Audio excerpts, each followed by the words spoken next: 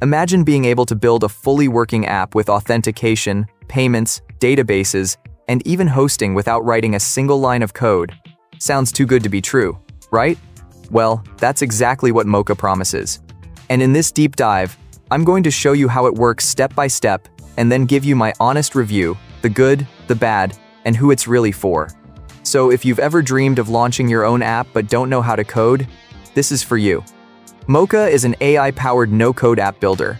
Instead of learning complicated programming languages or juggling multiple platforms, you can literally just describe your app in plain English, and Mocha builds it for you.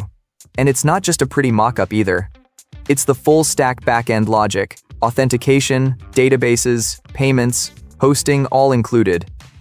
Think of it as the Canva or Figma of app development, but with real functionality baked in.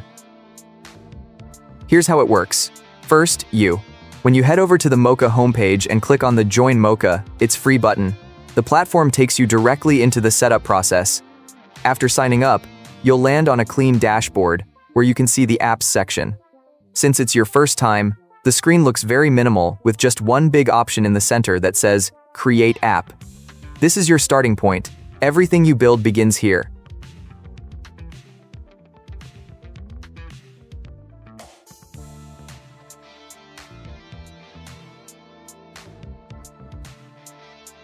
When you click on Create App, Mocha immediately asks you the core question.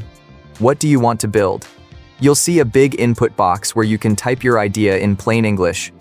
There's also an option to attach files if you want to give Mocha references, and you can set your project to be public or private, depending on whether you want others to discover it. After you type, I want an app where users can browse yoga classes, see available times, and book a slot online, and hit the submit arrow. Mocha opens the builder. The large area on the left is your live preview canvas. At first, you'll see a brain icon with the message, working on it. Your app is being created. The preview will appear once it's ready. That means Mocha is provisioning the backend, creating pages, wiring the database, and setting up auth. At the very top right, you'll also see a small spinner that says Mocha is working, so you know it's still generating. On the right side is the conversation panel. Your prompt appears there as the first message, time-stamped. Immediately under it, you'll see a short status like initializing or reasoning. This is Mocha parsing your request and planning the build. You don't need to do anything here yet. This is just feedback that the system understood your goal.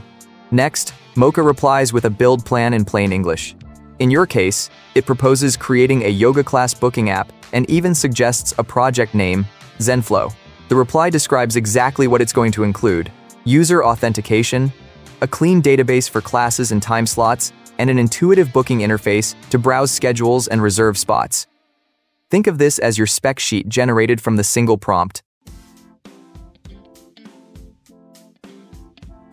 Once Mocha finished building the project, I could see my app live in the preview on the left. It already looked like a polished yoga booking website with a clean design, a welcoming headline that said, Find Your Flow, and sections for upcoming classes.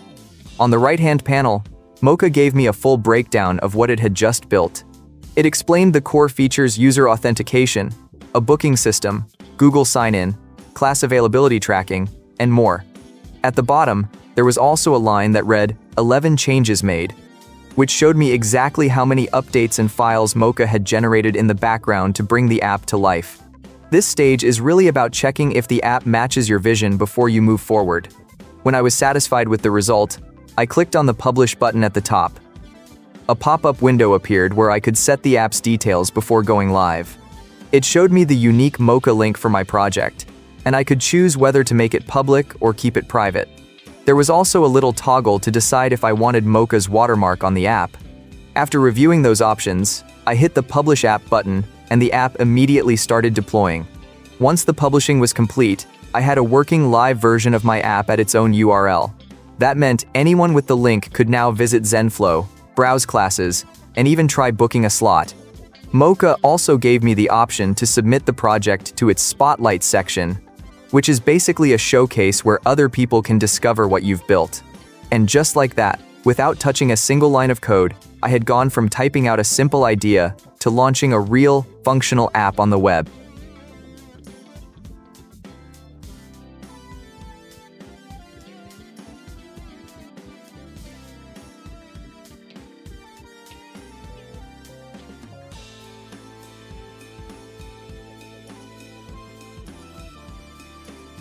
And that's my deep dive into Mocha.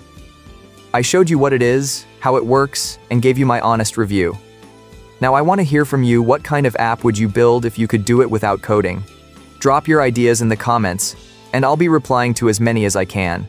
If you found this helpful, don't forget to hit like, subscribe, and turn on notifications so you don't miss my next deep dive into the future of no-code and AI tools. Thanks for watching, and I'll see you in the next one.